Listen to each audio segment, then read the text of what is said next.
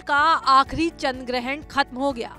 चंद्र ग्रहण आंशिक तौर पर रात ग्यारह बजकर इकतीस मिनट से शुरू हुआ। हालाँकि भारत में इसे देर रात एक बजकर पाँच मिनट पर देखा गया, जो सुबह दो बजकर चौबीस मिनट पर खत्म हो गया। देश भर में इस अद्भुत नजारे को देखा गया, जिसने भी इस खगोलीय घटना को देखा, वो बेहद खुश नज़र आया। हिंदू धर्म में चंद्र ग्रहण को अशुभ काल माना जाता है। मान्यता है कि इसमें वातावरण, घर खाने की चीज़ें और शरीर अशुद्ध हो जाता है। इसलिए ग्रहण खत्म होने के बाद शुद्धि के लिए कुछ विशेष कार्य ज़रूर करने चाहिए। ज्योतिष शास्त्र के मुताबिक विशेष कार्य करने से चंद्रमा के दोष दूर हो जाते हैं और ग्रहण का अशुभ असर नहीं पड़ता। चंद्र ग्रहण के अशुभ प्रभाव को खत्म करने के लिए ग्रहण के तुरंत बाद पूरे घर में नमक का पोछा लगाएँ और पूरे घर में गंगा जल का छिड़काव करें। ग्रहण के दौरान शरीर भी अशुद्ध हो जाता है।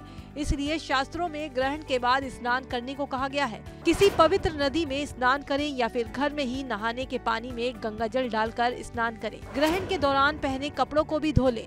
अब मंदिर और घर में पूजा स्थल पर भी गंगा जल छिड़के। भगवान की मूर्तियों को शुद्ध जल से स्नान कराएँ। भगवान की पूजा के बाद ब्राह्मण को दान दक्षिणा दें। चंद्र ग्रहण के बाद चंद्रमा से संबंधित चीज़ों का दान ज़रूर करें, जैसे चावल। घी, आटा, सफ़ेद वस्त्र का दान करें। ग्रहण खत्म होने के बाद कांसे की कटोरी में घी भरकर तांबे का सिक्का डालें और फिर उसमें अपना मुँह देखकर इसे दान करें।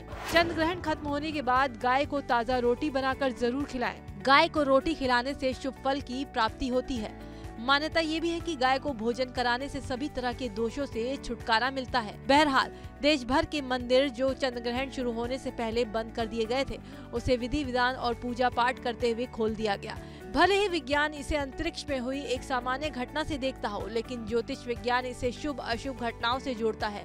इसलिए ज्योतिष शास्त्र में दिए गए सभी उपाय करने से चंद्र ग्रहण के बाद लगे सारे नकारात्मक प्रभाव खत्म हो जाते हैं। अगर आपने भी इनमें से कोई उपाय ना किया हो तो आगे से ज़रूर ध्यान में रखिएगा।